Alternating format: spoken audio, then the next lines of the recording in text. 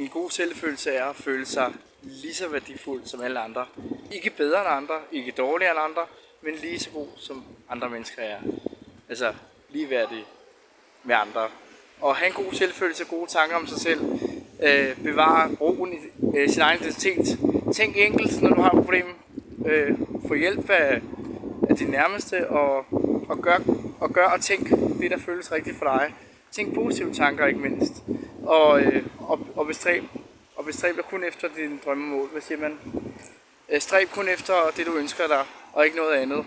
Det er tankens kraft, det er manifestation. Vi manifesterer hele tiden.